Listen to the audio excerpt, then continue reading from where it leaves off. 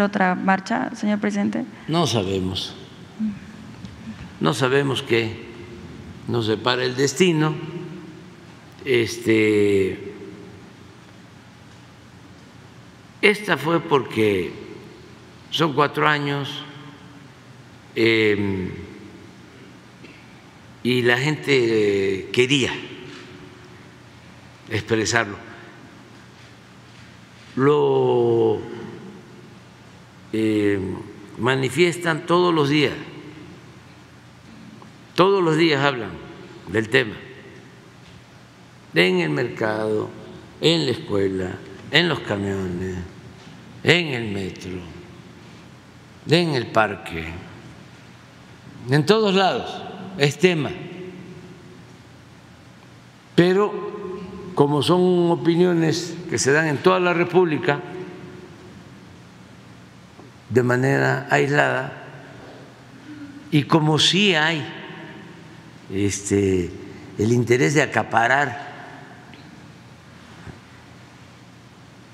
la información, o sea, de este, acaparar los medios para eh, informar solo lo que conviene nuestros adversarios.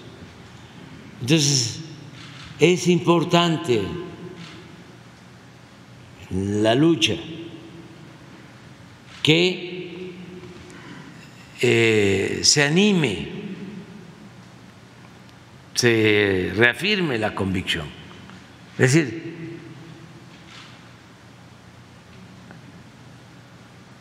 No somos uno, no somos cien. Cuéntanos bien.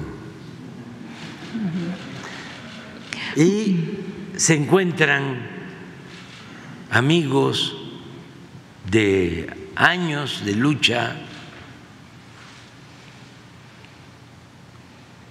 ahí se abrazan y de otros estados, tienen un efecto extraordinario, una movilización. Ya estábamos también muy hamburguesados.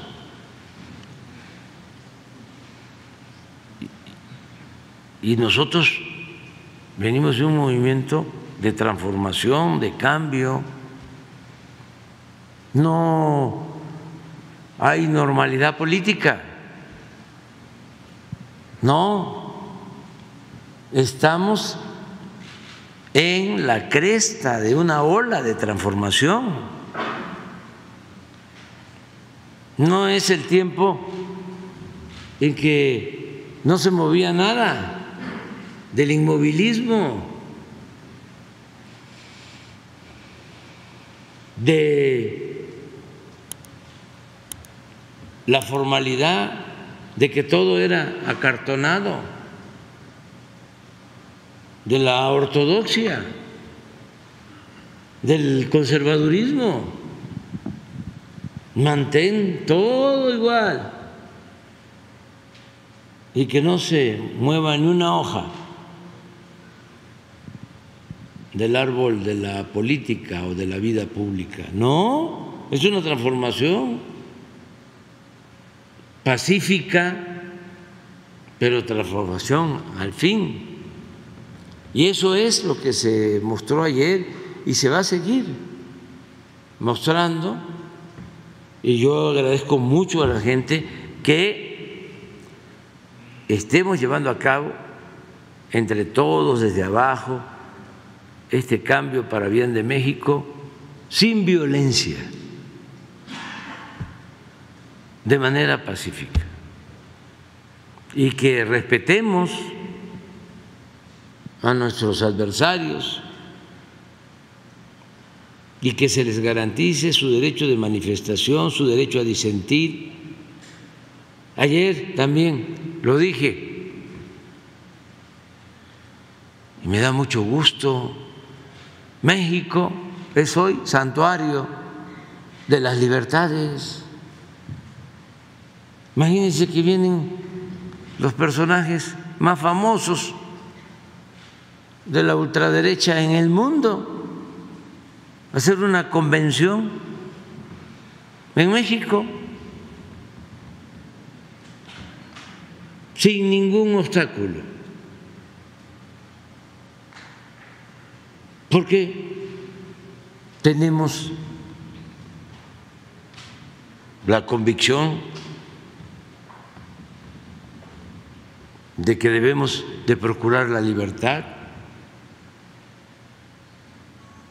y nunca más, si es posible, aplicar el artículo 33 de la Constitución que se ha aplicado por más de un siglo, el expulsar por extranjero pernicioso a quien habla mal del gobierno de México o este opina mal. Una vez hace poco, creo que con Cedillo, vino una banda musical, música de jóvenes, y dijeron algo, hubo algún incidente y vámonos, para afuera.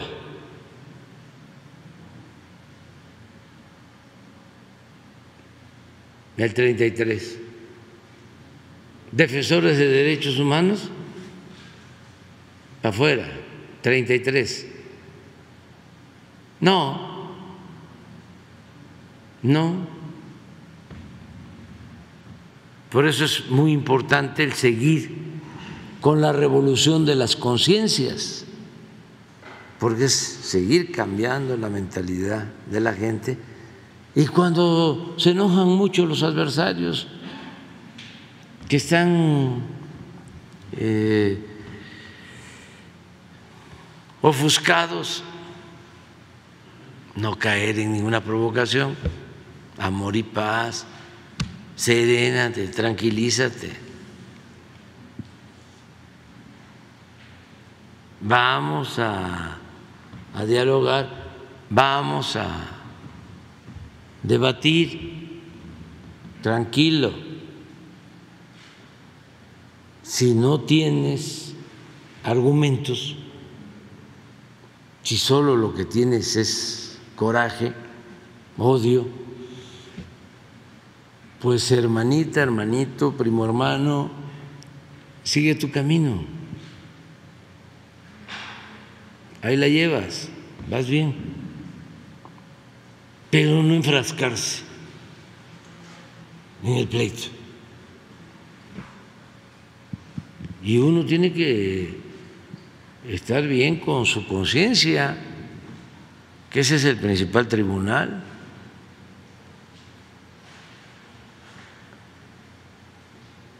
Pues eso es, y los dirigentes, todos participaron.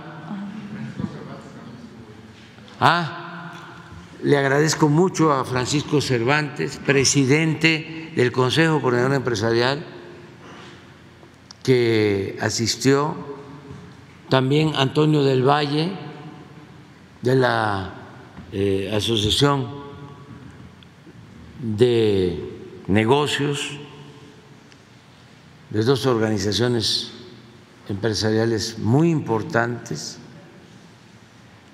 y estuvieron otros empresarios, hice referencia a uno de ellos, a Bremer, porque tengo eh, opiniones de varios deportistas que él los ayuda y además cuando se iba a vender una casa para dar unas becas a deportistas, él la compró. Entonces, por eso este, lo mencioné y Así llegaron otros y muchas gracias ¿no? a todos los que nos acompañaron y no hubo ningún problema porque la gente es muy respetuosa, eh, muy madura y no tiene intenciones de ofender. Lo único que se busca es que haya respeto.